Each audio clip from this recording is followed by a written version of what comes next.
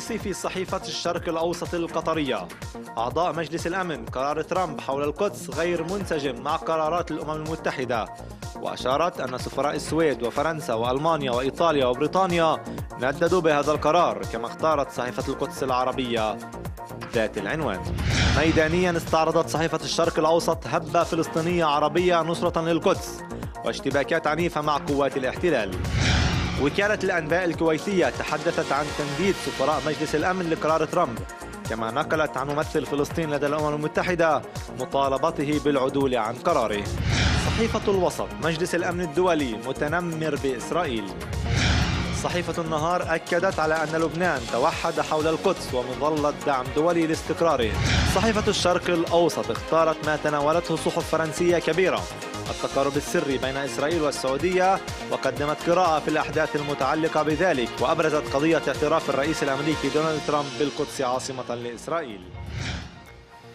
إذا الدول الصحافة العربية العالمية شددت بالأساس على ردود الفعل من قيادة العالم ولكن ليس كل العالم العالم أو العالم الأوروبي أو شعوب عربية أكثر مما شددت على ماذا فعل الزعماء لربما لأنهم ينتظرون هذا المساء ما يسمى بالقمة. العربية على أمل أن تأخذ يأخذ القيادات العرب اليوم بعض الخطوات. بكر هذه التغطية لما يقوله العالم الغربي عنا حتى الصحافة العربية العالمية لم تسأل قياداتها ماذا فعلتم إنما نظرت ماذا فعلت أوروبا. يعني أنا حسب رأيي باستثناء الصحافة اللي تابعة للأنظمة الصحافة العربية غير راضية عن مواقف القيادة وبدها تتجنب إنه تنتقدها وتتجنب إنه تجيب سيرتها. يعني بدها تجيب سيرتها تنتقدها. القيادة العربية أو إما صامتة أو إنه سلبية يعني. فالصحافة العربية ركزت على على الشارع العربي لأنه الشارع العربي فعلا غاضب. ويمكن هذا الشيء الجانب الإيجابي الصغير من قرار ترامب إنه وحد عمليا شوي الشعوب العربية الشعوب لأنه إحنا للأسف الخلافات اللي صارت القضية السورية وباقي القضايا عملت حتى انقسامات بالشعوب فوحدت الشعوب وحدت بكافة الطوائف ال الفئات. الجميع توحد إنه إحنا القدس هي قضيتنا الأولى. ما عدا بعض الشعوب اللي ما كانش عندها أي رد يعني بالخليج خصوصا. إيه، وبنفس الوقت إيه، إحنا شفنا إنه في تقدم بقضيه المصالحة الفلسطينية يعني طبعا. يعني في شيء إيجابي هذا الجانب الإيجابي يعني كرد مم. على الأقل يعني ك ك بعرفش إذا أضعف الإيمان كان رد عليه إنه إحنا متوحدين يعني نعم.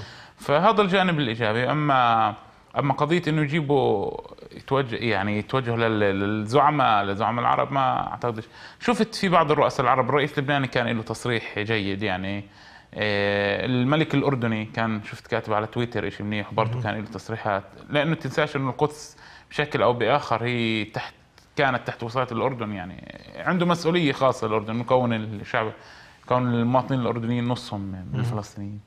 آه، ف تربك رأسية الوصال الوصاية الأردنية على المسجد الأقصى المبارك وهي الأردن التي دائما ترعى كل مسألة الإنفاق على المسجد الأقصى وتحاول دائما أن تبعد السيادة الإسرائيلية المطلقة. إيه، عنه.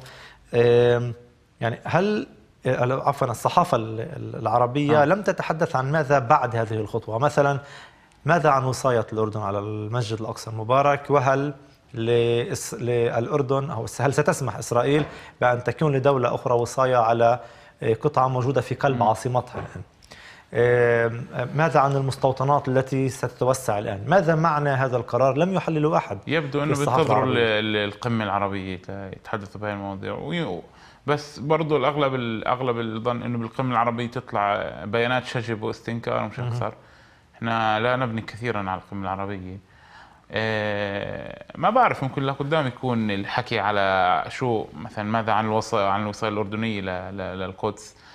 لكن شفنا بصحف أخرى بالصحف الأجنبية إنه ترامب بيحضر لأشياء جديدة اللي هي لامتصاص الغضب العربي والفلسطيني. ممكن يكون آه، كمان تصريح بخص القدس البلدة القديمة إنه يضلها. ما, بعرف ما بعرف. أما آه، يعني ممكن الأيام القادمة تجيب لنا أشياء جديدة. نعم. بكر بدي أسألك تعرف نحن الصحافة لا نبحث فقط عن الموجود إنما نتساءل ما الذي غاب وكنا نتوقع. غاب صباح اليوم عن الصحف ومواقع الإنترنت الكبرى العربية العالمية.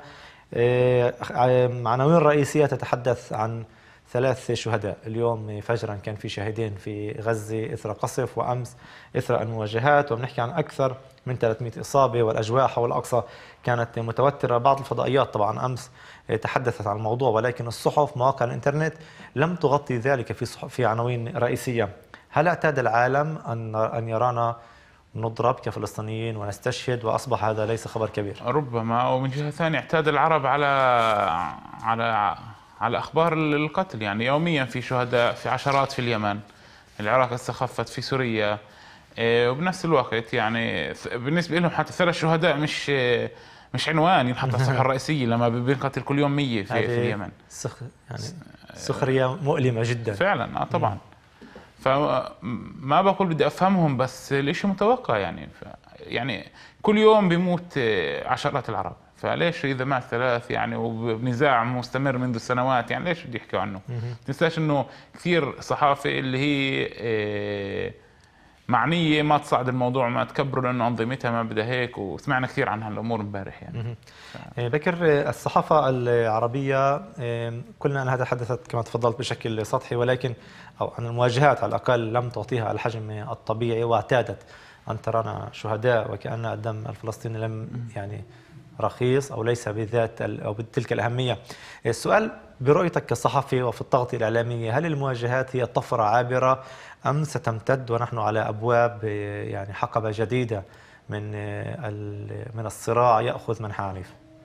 آه، اولا إحنا إذا لاحظنا على في بداية المواجهات امبارح في القدس حاولت إسرائيل إنه يعني كيف كنا شايفين على البث المباشر حاول القوات الأمن الإسرائيلية إنها ما تبدأ المواجهة فورا. يمكن لأنه ما بده يوجهوا العالم عليهم أكثر. بس آه، والبيان على فكرة كان بيان آه، الجيش الإسرائيلي كان بيان مخ... بتقديري مخادع على الأقل من حيث الأرقام. تحدثوا عن 3000 آه، مشارك في أكثر من 30 نقطة وكأنه كل نقطة فات عليها فقط يعني 100 مشارك فلسطيني بدهم يصغروا الشيء بدهم يصغروا الشيء لأنه مش معنيين يصير تصعيد.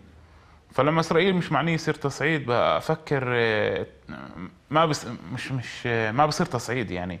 لأنه راح يطلع الشباب يحاولوا يومين ثلاث فبتوقع إنها تهدى بعد يومين ثلاث. خصوصا إذا طلع له شيء قرار أمريكي اليوم أو بكرة بما إنه شفنا إنه في متوقع قرار لامتصاص الغضب, الغضب. آه.